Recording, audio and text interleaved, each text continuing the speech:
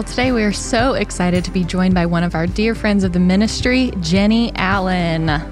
Well, Jennie is a dear friend mm-hmm. of our mm-hmm. ministry. She is a Bible teacher, author of several books, and founder of the If Gathering. We're sure many of you are familiar with her ministry, and it's really special to have her here with us today mm-hmm. because Jennie's passion for biblical truth really mirrors ours here at Proverbs mm-hmm. 31. And she really is like family to us, yeah. really and truly. And it's so fun to have her here. But Jennie, before we let you teach, we do want to ask you one question. Okay, are you ready?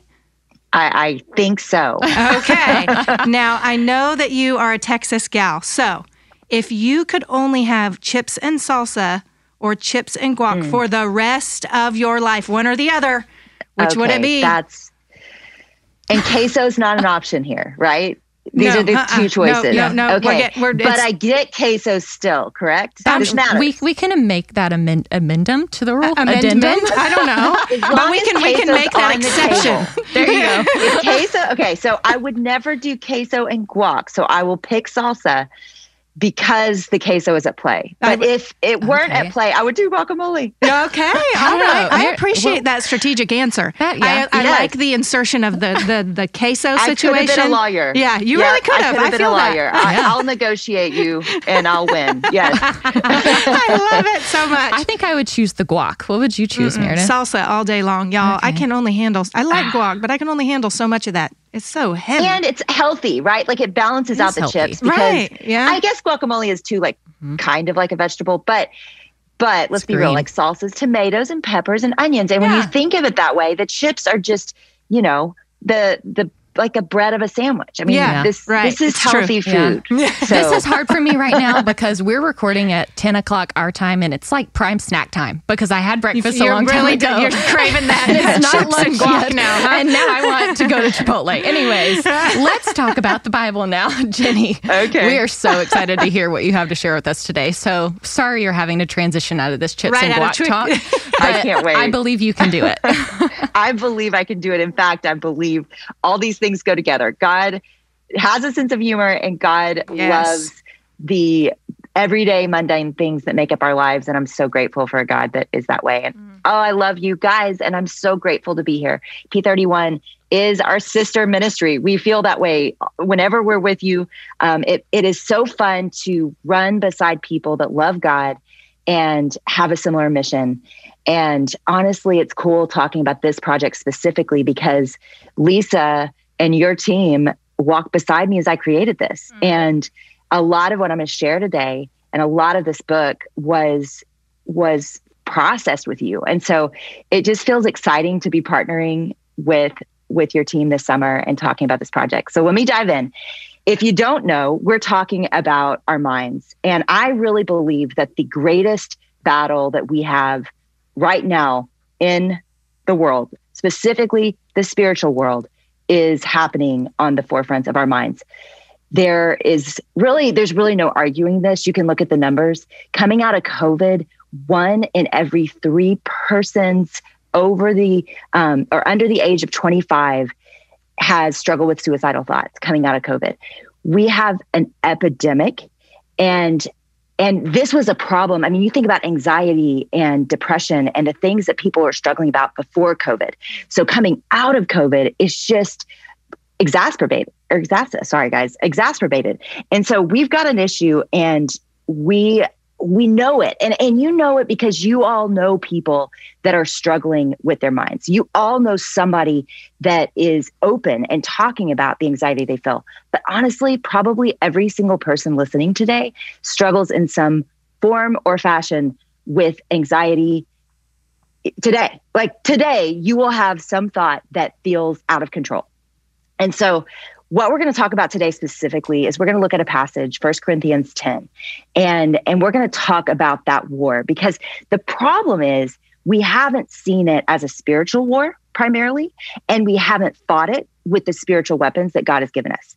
And and 2 corinthians 10 is a beautiful passage and it ends i'll go ahead and give you a hint it ends with the the phrase the passage we're going to look at today ends with the phrase take every thought captive so the context of the passage is actually set in in our minds. He, he's talking about the war for our minds. And, and he begins the passage by saying that we do not fight spirit with fleshly weapons.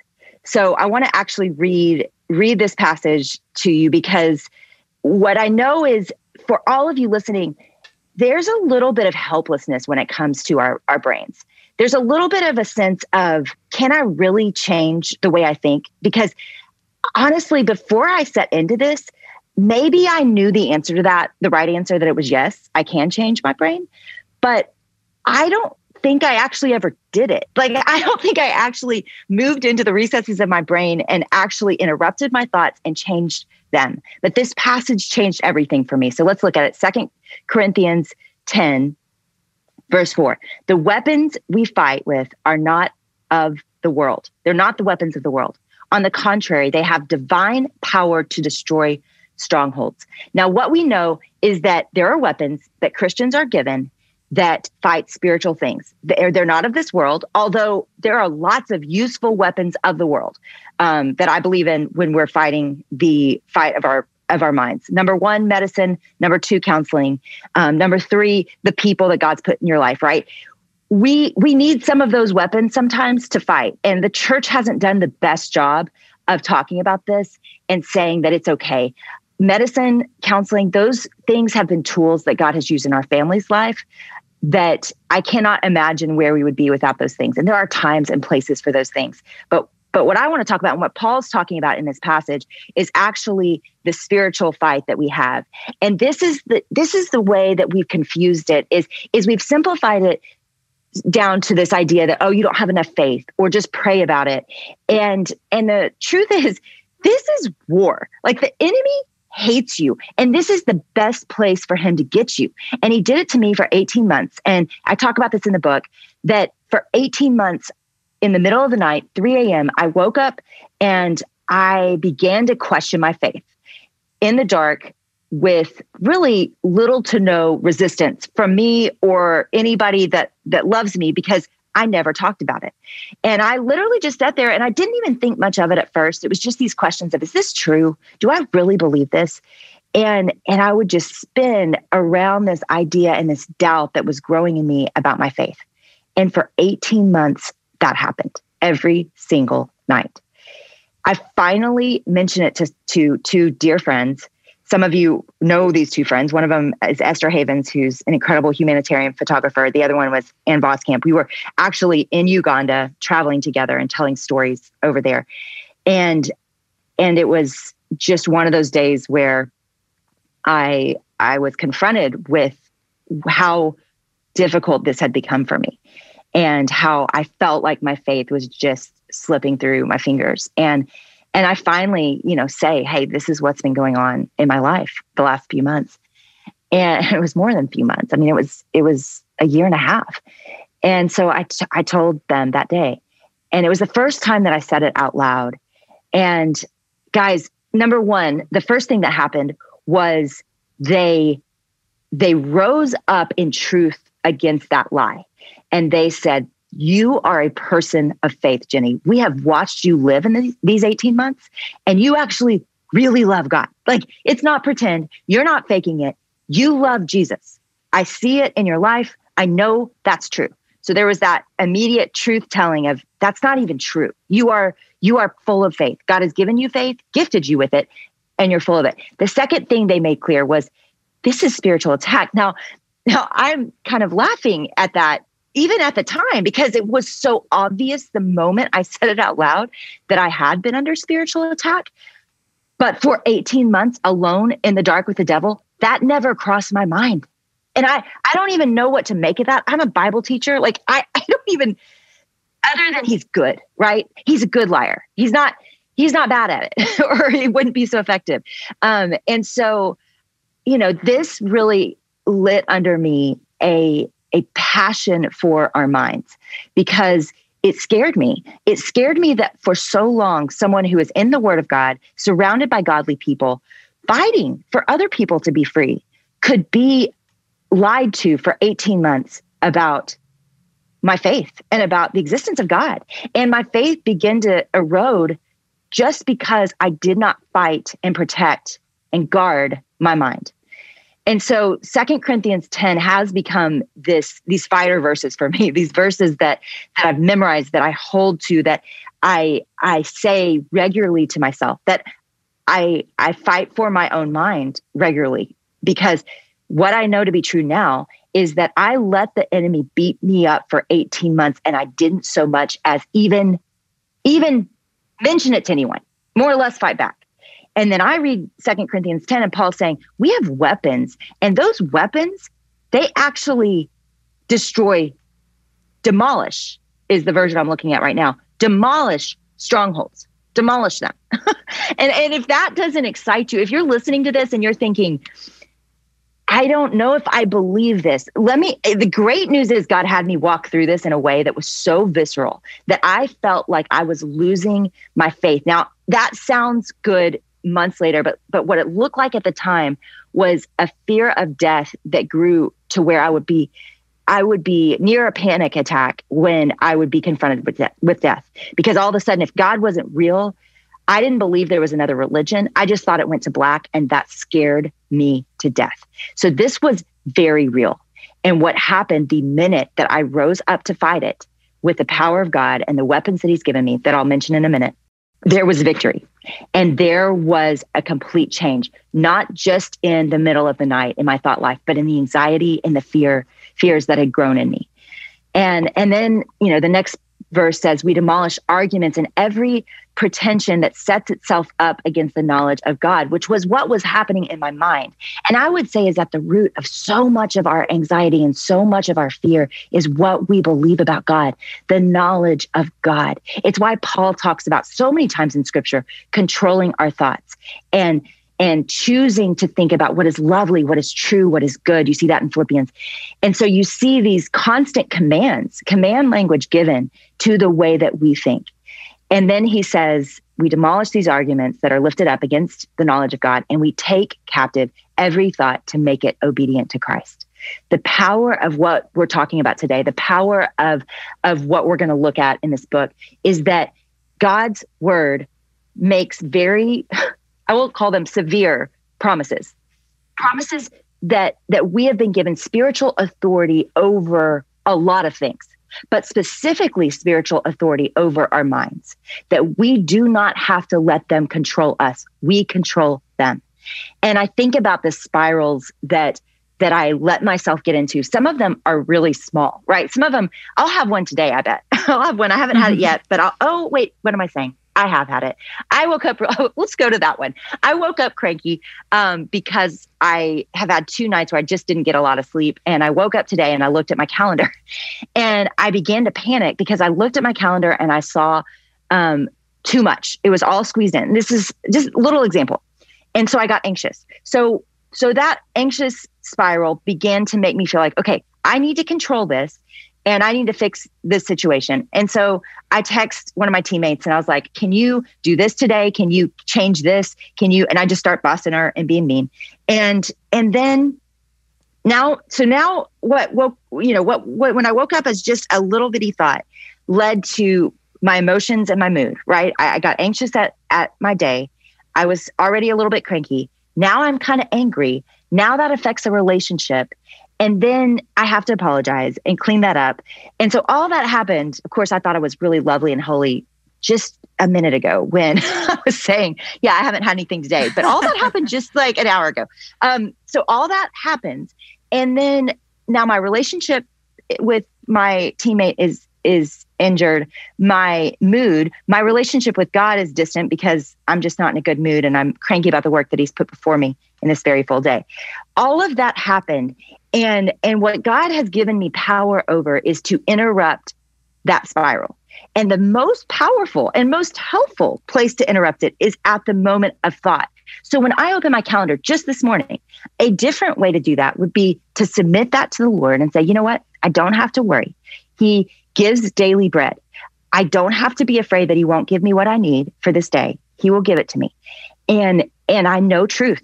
And and when Paul talks about things like think about whatever think about things that are true in Philippians, what he's saying is don't spiral about things you can't control. Don't spiral about things that aren't even real. How much of what makes us anxious is pretend? It's not even real. The truth is, my day is going to work out just fine.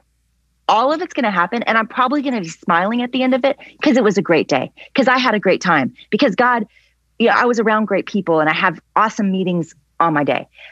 But my mood affected my thoughts, and my thoughts affected my relationships and my words. And and what God says is the power I give you. It's okay that you woke up cranky, right? That's harder to control. It's harder to just not feel cranky, right? If I say to all of you like, "Hey, quit being cranky." That's just not helpful. But if I say to you, that thought pattern that you have been thinking all day that has made you cranky, that has fed your crankiness, that can be interrupted. And that can be interrupted with truth that's real and tangible. And the word of God is clear and living and active and has put in black and white for you to interrupt pretend spiraling thoughts that no longer have to control you. The weapons that Paul's talking about here are so powerful. And you see it throughout scripture. He doesn't spell them out exactly right here, but you see them throughout scripture. We know the weapons that we have to fight with. Number one, it is the word of God. We know that is our most powerful weapon. It is the sword of truth. This pierces joint and marrow and bone into our soul and changes us. The word of God is the first weapon. The second weapon, and I love this one, and we don't talk about this one enough, is the Spirit of God. The Spirit of God is our helper, our counselor, our friend, our promise, our reminder, constantly reminding us of the truth. He walks with you. The Word of God is living and active, but the Spirit of God is alive and He's inside of you and with you if you believe in Jesus Christ. And that Spirit changes us from the inside. I've seen him do it again and again and again. He's done it today in me. He is he is wooing us back to to God. He is with us and and he loves us and he's fighting for us. And and I think that idea that that he is a God that is not just alive in heaven on a throne, but he is a, a God that is alive in us with us. That is a world changing truth if you don't understand that and believe that. That right now, as you drive as a believer in Jesus Christ and you're listening to this, the Spirit of God is with you. He is for you. He's equipping you for every good work that He prepared in advance for you to do. And, and I think because we don't actually believe that and we don't take that in and we don't dwell on that and we don't ask him for help, right? I mean, that's the thing. It's like, okay, maybe you today believe that he is he is with you, but have you asked him to help you? Have you asked him to fight for you? And and that's where that relationship with God actually takes root because no longer are we just slapping a verse on it, but we're talking to our God that's with us and alive and for us. And we're saying, hey, help, help. My most favorite regular prayer is help. I, I say it mm-hmm. all the time. And you know what? He does. Because what I'm doing in that moment is I'm turning my eyes to him and saying, I can't do this and I need your help. And he loves those prayers. God loves those prayers. So the word of God, the spirit of God, and lastly, the people of God. And guys, this is where I'm going to challenge you today. This is your takeaway. Is somebody needs to know what you're struggling with. Somebody, those thoughts, those spirals, some of you have had those spirals for a decade. Like you've had the same anxious feeling and thought that has paralyzed you for a decade. And I wish I were kidding or being um, facetious or this is an exaggeration, but it's not. Because I've had too many women come up and tell me, hey, I have fought this lie in my life since I was a child. So for some of you, it's more than one decade, right? And and what I would say to you is, is that's a stronghold. that that lie that you believe that the enemy has given you. That's a stronghold. It can be fought. And the way we fight it is by saying it out loud, not living in the dark alone with the devil, which is what I did for way too long. We don't have to be in bondage for 18 months. We don't have to be in bondage for 18 years. We don't have to be in bondage for 18 minutes. Our God is more powerful than the devil. And so now, what it looks like in my life, what it looks like in my life is I turn to that lie and I fight back. If the enemy is coming for me, then I am going to go on the offensive, not the defensive. And I'm going to to protect my inputs. I'm going to believe truth. I'm going to quickly let people into the dark recesses of my mind where the enemy lies to me. And I'm going to say it out loud. And I am going to trust and pray and depend on the Spirit in deeper ways. And guys, it changes everything. Wow. So good, Jennie. Mm-hmm. Um, those points at the end were so helpful. Um, I have a question based on um, just at the beginning, you were talking about that 18 month struggle that you had where you woke up at 3 a.m. And I think everybody listening has either had those moments or maybe they're mm-hmm. in it or they're nervous about it coming up. But a question that I have is I thought, why did Jennie wait 18 months to tell somebody mm. about this? Like, mm. and I heard you say, sometimes whenever spiritual attack is happening to you, you're blind to it. But like, is there a reason that you didn't invite someone in sooner? And why do you think yes. that, that, there's a reason that we don't yeah. trust people with this? Like, are we embarrassed? Like, what's happening? Yeah, I definitely think for a lot of people that's that's shame, right? We, mm-hmm. We're afraid to say the thing out loud. I have a friend that struggles with lust and you know she forever did not tell anybody that because she was just mm-hmm. embarrassed um yeah. and and she didn't she just didn't know that that was an okay thing to tell people mm-hmm. and and that was that's a real reason and i think the enemy uses that a lot of times to cause us not to share mm-hmm. but i would say you know the main reason that i i didn't in this case was i didn't think it was a big deal mm-hmm. i didn't realize how much of my mind was changing because it's the middle of the night, right? Like I'm not overly thinking about my thoughts. Yeah. I don't think we regularly overly think about our thoughts. I, I think that's a common problem, mm. but especially in the night, I think it's a really strategic time for the enemy to attack us because our guards aren't up, we're tired, we're trying to go back to sleep. It's just, mm-hmm. it's passing thoughts that you're not giving a lot of attention to. I don't think I saw the theme until I saw the anxiety developing about death and mm-hmm. about you know, I, I think in the daytime I was okay. Mm-hmm. And so it just didn't come up.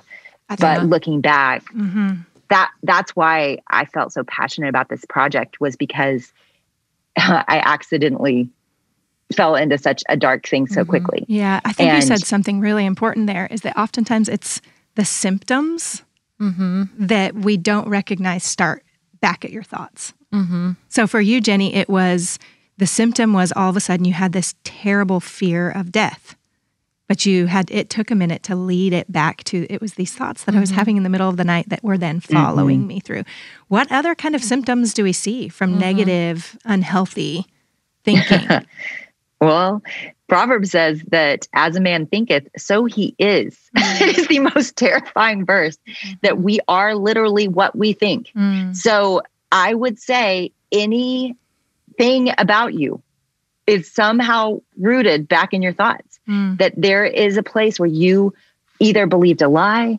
or fed a fear or fed a doubt. And again, I don't think we're doing it intentionally. Uh, Jesus, when he laid out who the devil was in John 8, it's such a powerful passage. He, as a writer, I think it's fascinating. He actually says the same thing four times. I don't know if I've ever done that in a paragraph in my life, like said the exact same thing four times but he says the truth is not in him. He was a liar from the beginning. He only lies. Like he, he said, I can't remember exactly what it says right now, but over and over again, he says exactly the same thing four different ways. You know, it's it's that he is a liar. And so I think this idea, you know, again, I come from a side of the church that we just don't talk about the devil very much. Mm-hmm. and so I don't, I, you know, I don't know, um, I don't know why, because it's very Jesus talked about him, and it's very clear throughout Scripture that that there's an enemy. So I think that the results that we see right now in the world all began in our thought lives somewhere. Mm-hmm. The darkness, the fear, the um, pressure that we're all living under, the desire to please people and to measure up to people's opinions, the sin we accidentally fall into, and then it turns into something that takes over our lives, right? Mm-hmm. All those things are symptoms yeah. Yeah. that began in our thought lives. And all began with probably a thought somewhere. Sometimes you can even pinpoint it. Sometimes, you know, like one thought I can pinpoint was when I was 12 years old with my daddy on a recliner and I was looking at the ceiling and he began to ask me questions about my life. Super innocent moment. But I felt pressure and I began to realize I'm not measuring up to my dad. And it was the moment I began to strive mm. in life. Like I, I remember it. It was a moment that I said I have to measure up to yeah. his expectations. Yeah. And and that was a moment for me. And i think we all can look back at our lives and go gosh i remember the first time i believed that lie which is which is powerful but also scary that the enemy can can give us a little lie planet and feed it over and, so many years. yeah and weave it mm-hmm. almost into the fabric of who we become. Mm-hmm. you know where it is something i look back on my childhood Um, and even like I became a believer at like 17. So I had 17 years of not knowing the Lord, of believing lies, of intaking my environment and, you know, my flesh filtering that into mm-hmm. the lies that I believed about myself and the lies I believed about the world. And I look back prior to, and it even followed me into after I became a believer, but I really believed because of my childhood and all the things that happened that I was a piece of trash. Like no one cared, nobody would want me, nobody would possibly ever like me. And so out of that belief, mm-hmm. I chose, I made a lot of really bad decisions about boys. Like I went for guys that were mm. mean to me and treated me like trash because I believed I was trash and I deserved nothing more than that. Mm-hmm. You know, and as I became a believer and went to a lot of therapy, um, really unearthed that that was my belief. You know, and unraveling that honestly took me years. And when, mm. even to the point where when I met my husband, I was like, no, no, no, no, no, no, no, no. You like you. I tried to push him away because I was like, guys like you don't like girls like me you know, and the Lord used that to again show me the lie that I had believed for so mm-hmm. long about who I was, you know, and the scripture verses that I had to, to memorize during that period of my life when I was actively fighting that lie. And y'all, mm-hmm. I still have to actively fight that yeah, lie. That's right. I mean, it is that's so deeply mm-hmm. ingrained deep down into the recesses of my heart mm-hmm that it doesn't just you don't just fight it once and it goes away. Yeah. You know? Mm. and so i guess i would want to challenge jennie this has been so good but i want to i want to challenge our listeners beyond maybe the anxiety that you're feeling right now. Mm-hmm. look at the choice patterns that you've made in your life. Mm-hmm. look at that look at those patterns and see if those patterns are a symptom of some kind of belief that you have grabbed onto somewhere and start to peel back the layers. Mm-hmm. And I think you'll find something there that you believe that wasn't true, and the Lord wants to disassemble that so that He can speak His truth to you. Mm-hmm. This has mm-hmm. been wow. Yeah. I have a whole page of notes. I know. I actually, you were explaining your moment this morning, and I very much felt convicted. I have some apology texts to send. yeah. yeah. I think it was a little convicting moment for all of us, but also like just a reminder it's it happens so quickly. Oh my And goodness, such a yes. reminder to be like, you know what? As soon as my feet hit the floor, I got to be on guard. Yeah. Because I know, mm. like, if Amen. I'm not, something could happen, and then I'm going to have to apologize to yeah. someone, which yep. happens well, every day. And, but yes.